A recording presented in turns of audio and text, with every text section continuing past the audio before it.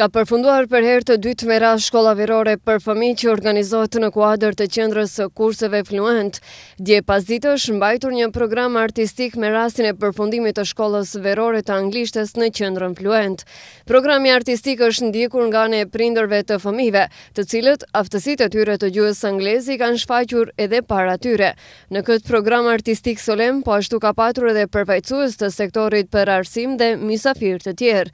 Ligjëruesit në këtë shkollë verore janë shprehur të kënaqur me rrjedhën dhe realizimin e shkollës verore.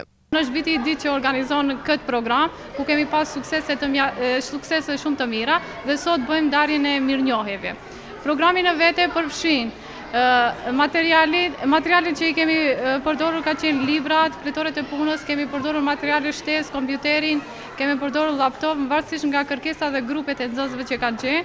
Përveç mësimit interaktiv, kemi pasur edhe lojra logjike, kemi pasur shëtitje në natyrë, Pas çdo përfundimi të modulit kemi pasur nga një test, diktime dhe në fund arritëm deri te testi përfundimtar dhe ndarja e certifikatave. Ndryshe për të gjithë nxënësit janë ndarë mirënjohje dhe fletore me fotografi vetanake të secilit kandidat kursist.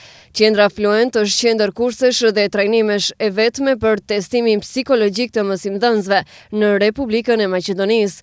Në qendrën për kurse Fluent edhe në këtë vit pritet të ketë shumë risi.